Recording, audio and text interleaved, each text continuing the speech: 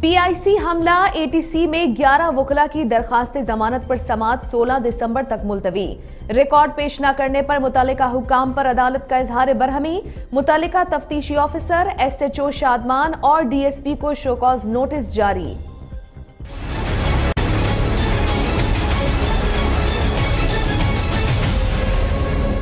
لاہور میں A T C کے جج ارشد بھٹا نے پی آئی سی حملہ کیس میں گرفتار گیارہ وکلا کی درخواست ضمانت پر سماعت کی۔ عدالت میں وکلا کی طرف سے پیروی سپریم کورٹ کے سینئر نائب صدر غلام مرتضی چودھری نے کی۔